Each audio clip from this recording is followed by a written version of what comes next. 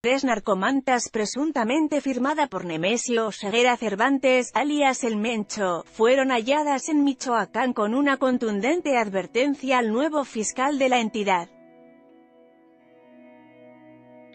De acuerdo con un mensaje difundido en redes sociales, los mensajes aparecieron la mañana de este miércoles 27 de febrero en Uruapan, alrededor de las 9 de la mañana horas.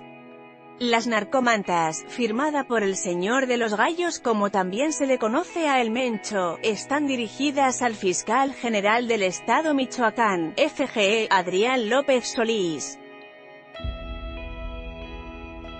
Según refieren medios locales, los tres narcomensajes fueron dejados por sujetos desconocidos en la calzada La Fuente, a la altura de la hielera, en el Boulevard Industrial, en el puente vehicular, y en el Paseo Revolución, en una reja del negocio de venta de carros, Barragán.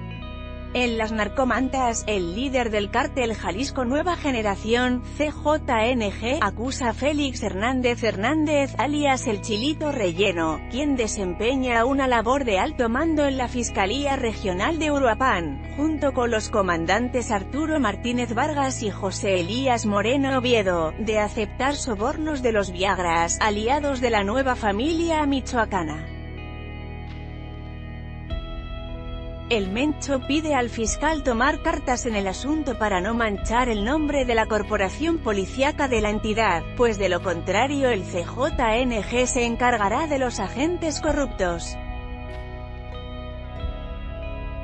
En los últimos meses, Uruapan es de las zonas del estado que más hechos violentos ha registrado, los cuales a decir de las autoridades estatales y federales se deben por la disputa entre células delictivas. El pasado lunes 18 de febrero, aparecieron unas narcomantas que también signó el CJNG, en las que dio a conocer su llegada al municipio.